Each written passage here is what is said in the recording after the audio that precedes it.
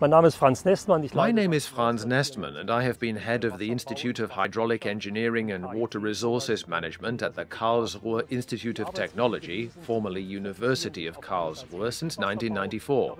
The research areas of this institute focus on energy hydraulic engineering on the one hand, and on the other hand, the development of large flowing waters, for example, for inland navigation. Furthermore, we are researching water as a resource in the sense of water supply of the people, with a focus on countries that are emerging and developing.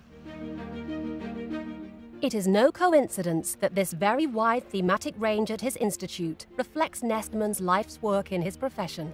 Franz Nestmann is an engineer who attaches great importance to the theoretical foundations and their concrete applications, but he is also a human being with the desire to use his knowledge meaningfully for others and for the protection of nature. The scientific foundations of his work are utilized in hydraulic engineering throughout Germany, for example, in the construction or operation of new hydropower plants. bei When building and optimizing new plants, very much can be done to optimize the flow in the inlets and outlets so that little energy is lost there. Franz Nestmann's expertise is not only in demand for the construction of plants, as here at the Rheinfelden hydropower plant, but Karlsruhe's expertise is also used for the operation of the plants. In the case of extensive interventions in nature, it is important not only to model any changes in advance, but also to keep an eye on them in the long term. Das heißt, man kann nicht beliebig viel Wasser jetzt aus dem Rhein abzweigen. This means that you cannot divert as much water as you like from the Rhine, but you have to do it in a water management way. That way, the sinking caused by the withdrawal of water from the Rhine does not cause ships to descend to the bottom. For this purpose, we have installed numerical models on the control stations here that map the discharge events in the Rhine over a long stretch in the high Rhine area, and thus make water levels and discharge conditions quantifiable depending on these operations. The Rheinfelden run of river power plant supplies 170,000 households with climate neutral electricity and thus makes an important contribution to a sustainable energy supply. Both construction and operation require scientific principles, such as those developed and taught at the Karlsruhe Institute of Technology. With the establishment of the fish pass, the conversion measures were also implemented with consideration for the fish fauna. Das hat man getan, indem man Strömungsversuche in einem Wassermodell durchgeführt hat im Labor. This was done by carrying out flow experiments in a water model in the laboratory. First, in order to model the flow diversity in such a way that calm currents were artificially created alongside fast currents. Große Kiesmengen hier und da in das They were created by dredging large amounts of gravel here and there in the water body. The result is this fishway, one of the largest fishways with a natural flow in Europe.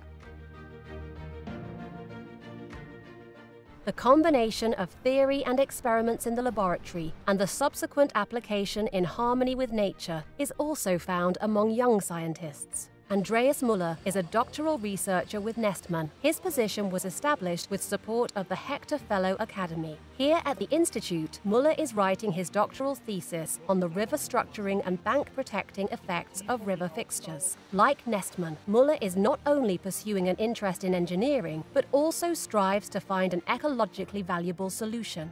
In the laboratory, he can carry out experiments with the insertion of groins in flowing waters virtually in fast motion. If the results are promising in terms of improving the structure of the watercourse, they are also tried out in field trials and documented. Gewässerstrukturierung bedeutet, Water structuring means that we want to create different habitats in the actually monotonous developed flowing water. For example, shallow bank areas for juvenile age stages of the various fish species or deeper areas called scours, where adult fish can retreat for protection from predators. We have very big ecological challenges, especially in regard to water. If we think about climate change, it will have an impact on many communities. We will get greater low and high water phases. That means that the ecosystem of flowing waters is under very strong pressure overall. With my research, I would like to contribute to the fact that we can do something for the fauna and flora in bodies of water through this construction method, even in areas where ecological improvements cannot be achieved. In addition to shore protection, another of Franz Nestmann's major fields of activity is coastal protection, an issue that currently affects more than 100 million people in Asia alone and is gaining in importance as climate change progresses. There, he has implemented projects for shore protection that are of vital importance for the survival of many people. In the mountains of Vietnam, he has also advanced the supply of drinking and processed water for the people and has realized projects that secure the livelihood of many people. Being able to implement these projects was also possible because Franz Nestmann gained an international reputation through the Hector Fellow Academy. Die meisten meiner Projekte sind im Ausland angesiedelt.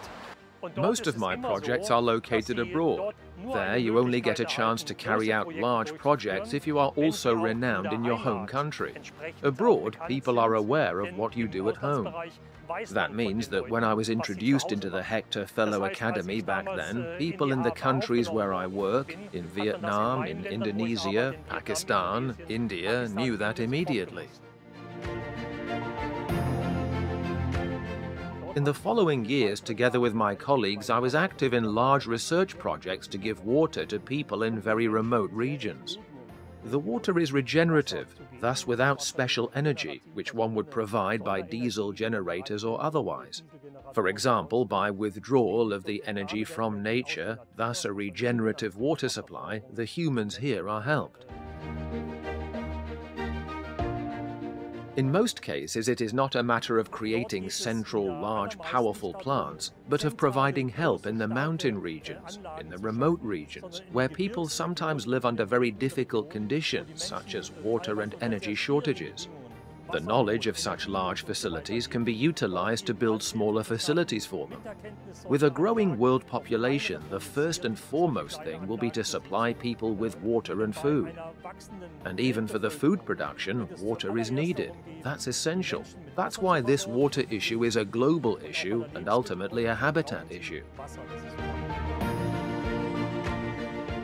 The technology has to be in agreement with the habitat and the people, and it has to be sustainable.